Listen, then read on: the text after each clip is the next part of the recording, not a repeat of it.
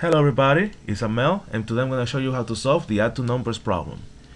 You are given two non-empty linked lists representing two non-negative integers.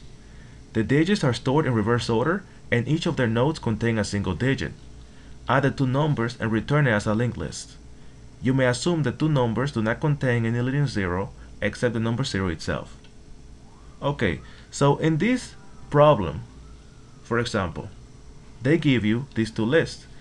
The first one has the value 342 and the other one has the value 465 because they are stored in reverse order. So this one represents the value 342 because you have to read from right to left and this one represents the value 465. When you add them up, you get the value 807. So um, how can we solve this problem? Um, for this problem, we can use the dummy node technique. So that's going to allow us to simplify building up the final result list because we can keep track of the first node of the final result.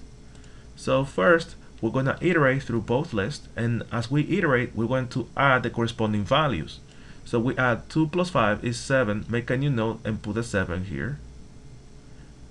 Then move to 4 plus 6 is 10, make a new node and we put the, the 0 from the 10. We don't put the 10, we put a 0 and um, we have to extract the rightmost digit of the 10 which is a 0 and then we have a carry of 1 so we move to the next two nodes. 3 plus 4 is 7 plus the carry which is 1 is 8 and we're done. So as you can see we can use iteration and also we can use the dummy node technique to solve this problem. So without further ado I'm going to show you how to write the code. First I have a pointer to node dummy gets a value of new list node with value negative 1.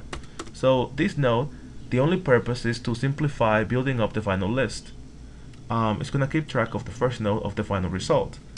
Also, I need pointer to node cur points to whatever dummy is pointing to. So um, this is going to allow me to move uh, through the final result and continue building it as I iterate. And I need a variable carry. This is going to keep track um, if I have a carry value from the previous iteration. So while L1 is not equal to null or L2 is not equal to null, that means that if L1 is pointing to something or L2 is pointing to something, that means that I have more values left to add. So I have to continue the iteration.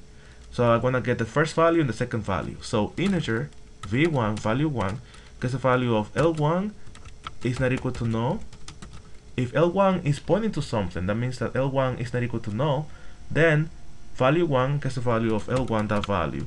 Otherwise, if L1 is null, that means that there's no value in that list anymore. So I'm, I can add 0 to, I can say that V1 gets the value of 0. Also, integer V2 gets the value of L2 is not, L2 is not equal to null. If, that, if that's the case, then L2 is pointing to something. So there's a value there. So I say v2 gets a value of L2, that value. If there's no value left in L2, I say that v2 is 0. Then I have to add those values. 2 plus 5 is 7, for example. So I say integer sum gets a value of value 1 plus value 2, but I might have a carry from the previous iteration. So I can have, I have to add the carry as well. So plus the carry. Okay, now that I have the sum of this iteration, I need to prepare the carry for the next iteration. So I'm, gonna say carry gets a value of sum divided by 10, and this is integer division. So that means that, for example, if the sum is 10, 10 divided by 10 is 1, so the carry is gonna be 1. If the sum is 11, 11 divided by 10 is also 1 using integer division. So the carry is going to be 1. So if the if the sum is 10 or bigger, the carry is going to be 1 using this. If the sum is less than 10, the carry is going to be 0 using integer division. So this is going to prepare the carry for the next iteration. And now I can build my my final result. So I can say that cur.next gets the value of new list node with value. So what am I going to put? I'm going to put um, in this case 2 plus 5 is 7 but in this case 4 plus 6 is 10 so I want to put the rightmost digit of the 10 so I'm going to say the sum modulo 10 this is gonna get this is gonna give me the rightmost digit of a number. Um, so um, for example from 10 it's gonna give me the 0 but if I say 2 plus 5 is 7 it's gonna give me the 7 here. And then um, I'm gonna move cur get the value of cur that next because um, if I let's say that I make a, a new node for 0 I say cur that next because value new node with value 0 and then I want to move cur to point here to continue building the final result. And once I'm done with that I want to continue moving here um, the corresponding node in L1 and also the corresponding node in L2 so I'm gonna say if L1 is not equal to null if there are more values to add in L1 then advance to the next value L1 gets value of 1 dot next if there are more values to add in L2, if L2 is not equal to null, then L2 gets a value of L2 that next.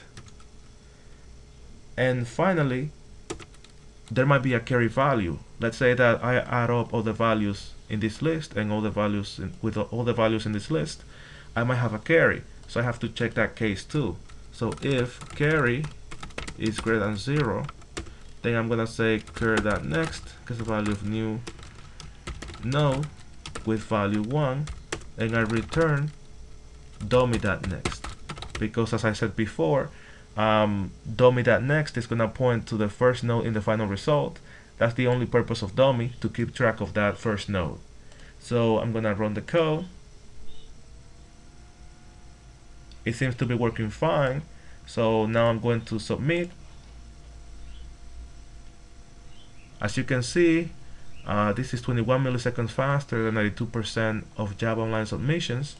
For add to numbers, um, the time complexity is big O of m plus n, where m is the length of the first list and n is the length of the second list.